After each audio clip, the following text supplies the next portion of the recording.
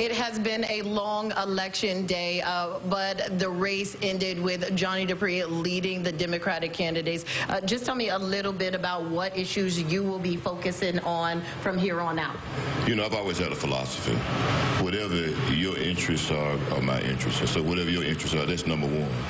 And so I have a lot of number ones. Uh, we'll figure out in the coming days and weeks the ones that we will highlight, maybe one, two, three.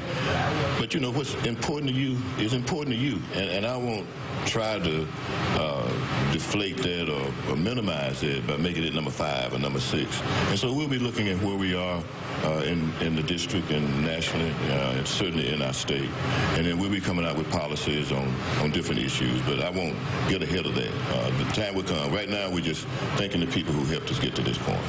Does a lead of this magnitude really uh, give you confidence with the next election? Well, certainly, you know, DJ, as I said before, it gets you win at your back. Uh, you know, when you um, can win with those kind of numbers, regardless of, and with those percentages, regardless of what the numbers are, it says that the people who voted have faith in you and believe in you and want you to go forward.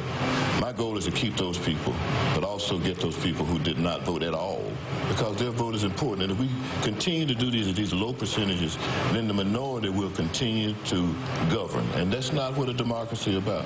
A democracy is about the it's, it's about the majority governing. And we need to get to that point where the majority, because then you really have a mandate. You have a mandate to go and talk for the people, represent the people in Washington or in Hattiesburg or wherever it is that you're representing the people. And so that's what we want to do.